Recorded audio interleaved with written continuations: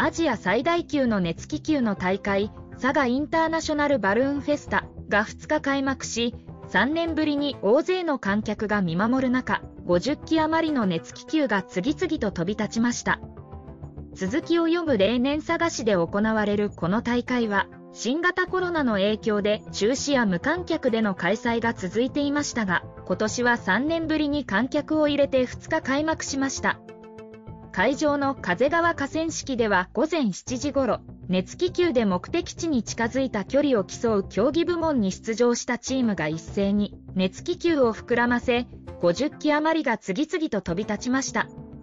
河川敷には大勢の観客が集まり、頭上に浮かぶ熱気球に手を振ったり、写真を撮ったりしていて、中には低空飛行する熱気球もあり、観客を楽しませていました。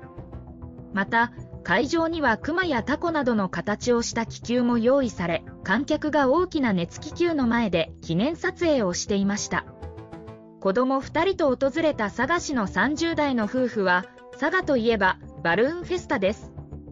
この2年は見られなくて寂しかったですが、佐賀が盛り上がってくれて嬉しいです、と話していました。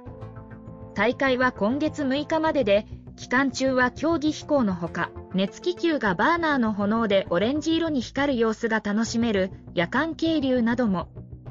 行われることになっています。主催者側は80万人の来場を見込んでいます。